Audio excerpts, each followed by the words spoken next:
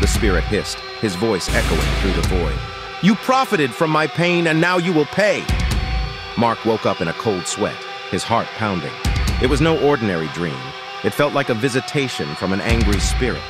The weight of guilt and dread settled upon him as he realized that he had crossed a line he could never uncross.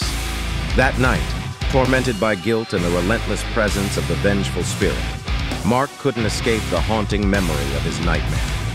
He felt as though the weight of his stolen success was crushing him.